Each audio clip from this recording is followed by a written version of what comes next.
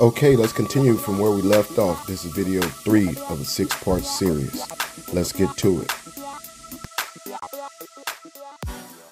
And, you know, a lot of people are angry over the situation, but I think that uh, sometimes we're, we're getting angry about uh, the wrong things or we're given the wrong interpretation because unfortunately now we're not just given the news we're given someone's uh, interpretation or someone else's narrative of what we should think about it and who we uh, should consider our to be our friends or who we should think that are on our side. Being angry might give you the courage you need to take a stand or to make a change and that's exactly what i'm talking about. Recognizing the warning signs so here, this is important. And um, on a previous video, I think I already did the video where I talk about the cues to anger, right? Or the, the signs of anger.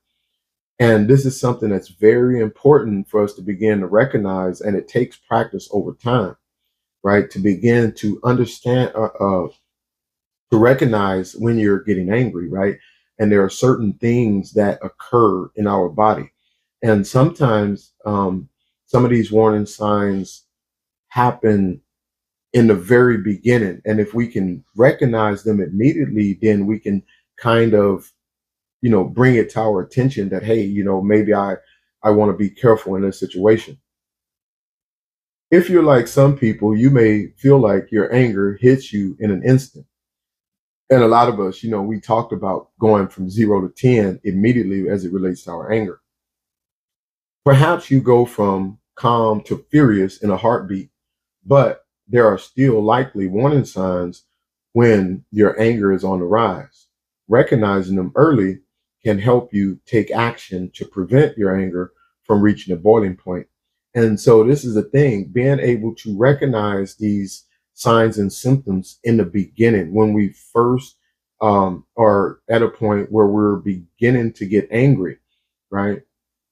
So if we recognize these early signs, then I can monitor uh, my anger and also monitor uh, what it what are the actual underlying reasons to my anger because sometimes it's other than what we think.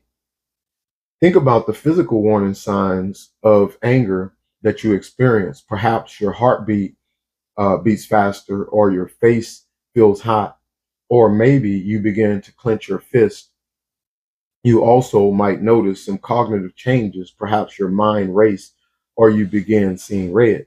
And so it's talking about these these warning signs. And and and again, I forget if I actually did the video on cues to anger. If I did, you'll know that um, I mentioned four cue categories of uh, associated with anger: um, uh, physical cues, behavioral cues, emotional cues, and cognitive cues. Right. And these cues were signs that you were beginning to get angry. And here is talking about um, some physical cues, such as your heartbeat uh, beating faster, and then it meant, or your face feeling hot. And then it mentioned a physical cue, which is, uh, you know, you, um, excuse me, a, a behavioral cue, which is like you start to clench your fist, right? Or you pace back and forth. Those are uh, behavioral cues. Those are behaviors that we may display when we begin to get angry. And then um, it also uh, mentioned uh, the cognitive, right?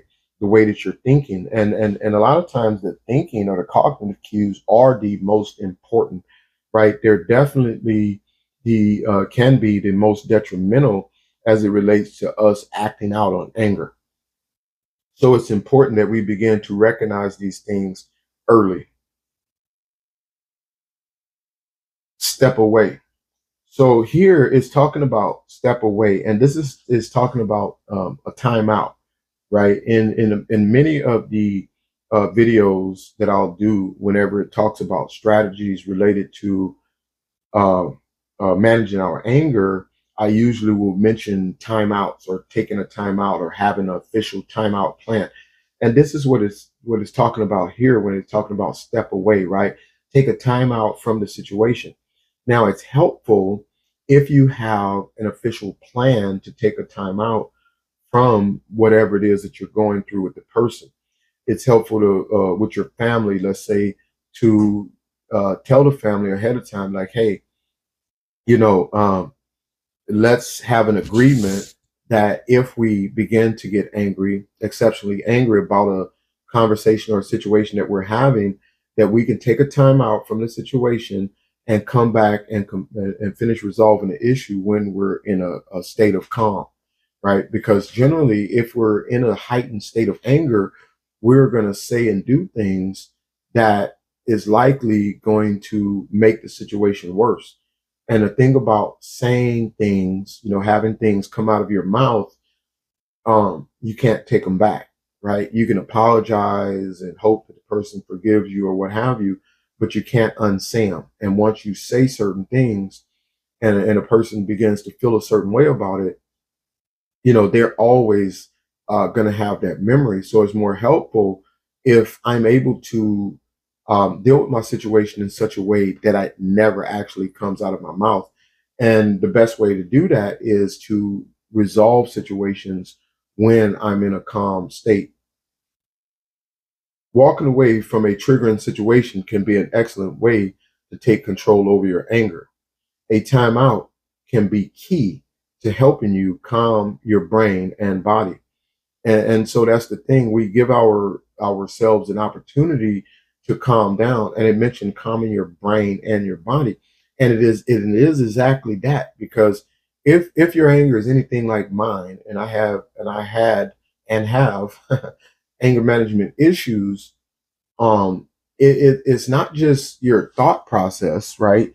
You you feel something in your body. There's a certain amount of tension um, in your body when you become angry, especially when you're in an extreme state of anger, right? And even as you begin to calm down, you can also you'll you'll feel your your mind begin to calm down, but also you can feel the relief in your body, right? Um, as you begin to calm down. And if you're in a heightened state of anger for an extended period of time, you'll really know that it's more than just your your mind uh, that was going through something. Because if you're let's say hours right in this state um, you know maybe even the next day you will feel your your body uh, feel a certain amount of exhaustion um, from being in that in that sustained state of anger for so long. If there's somebody that you can routinely get into heated disputes with like a friend or family member talk to them about the importance of taking a time out and resuming when you're both feeling calm.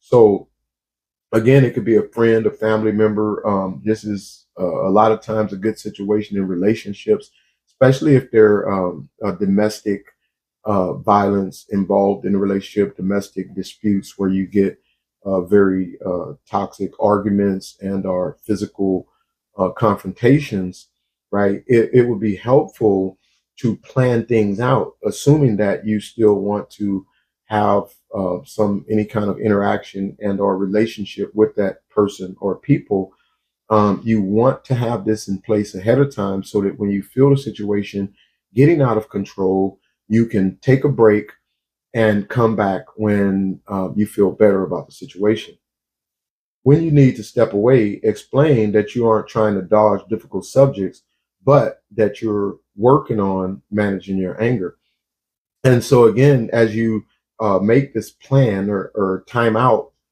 uh, plan, you know, you're you're letting the person know that, you know, you're not discounting what they're saying. You're not trying to get away from the situation. You're not trying to not address the situation of, um, but you know, because you have anger issues, it's highly likely that if you continue at that moment, uh, the situation could potentially turn uh, negative, right?